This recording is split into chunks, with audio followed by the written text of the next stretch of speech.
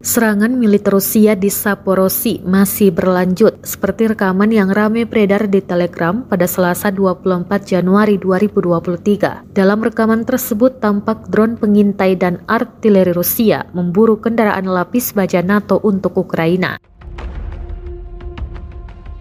Pengintai Rusia telah mengidentifikasi kelompok lapis baja Ukraina yang menyamar di sektor swasta dan pendaratan, tulis narasi unggahan. Ledakan terjadi pada sejumlah kendaraan lapis baja Ukraina tampak salah satu kendaraan tempur infanteri YPR 765 mencoba berpindah posisi, namun artileri Rusia berhasil menghancurkan target. Tentara Rusia dilaporkan menuju dua kota yang berada di wilayah Saporisia, Ukraina. Pergerakan tersebut diungkap oleh kepala wilayah Saporisia yang ditunjuk Rusia, Vladimir Rogov.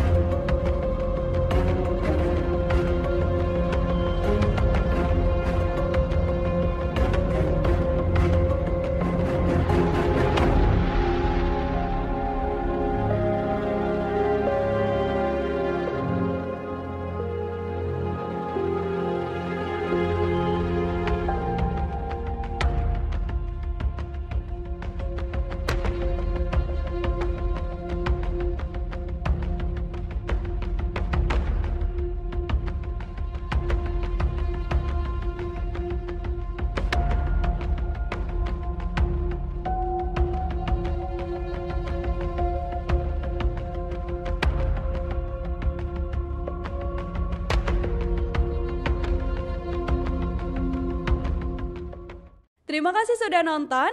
Jangan lupa like, subscribe, dan share ya.